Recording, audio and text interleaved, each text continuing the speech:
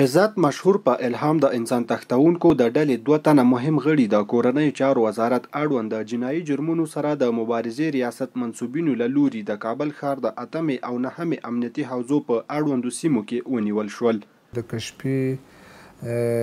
پرسونل له خوا یو لړ عملیات تر سره شول چې د عملیاتو په نتیجه کې طلا ګل د عبدالستار زوی، د کابل ولایت د دې سبز ولسوالۍ اوسېدونکی، د کابل ولایت د نهیمې ناحیې په مربوطاتو کې ونیول شو او دوهم کس رحیم د ګل اغا زوی چې اصلي د میدان وردګو ولایت اوسېدونکی دی،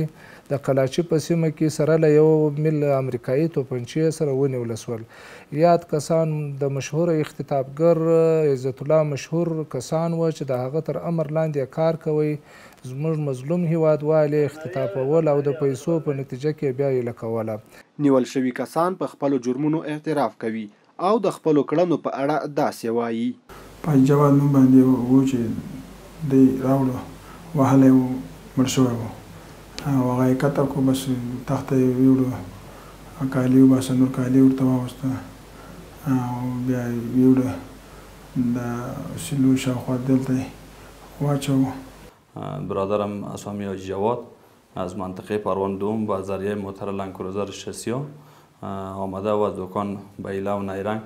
می بردارنش و اختطاف می کنند. در پیش روی سیلو در کارنال آب شهیدش کرده بودند در کارنال آب انداخته بودند به بسیار بی رحمی در آب آب ناپاک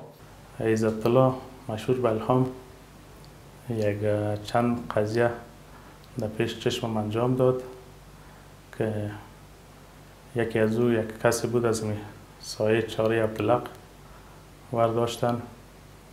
یک کس دیگه بود ریش سفید که از امسایه تایی مسکن بود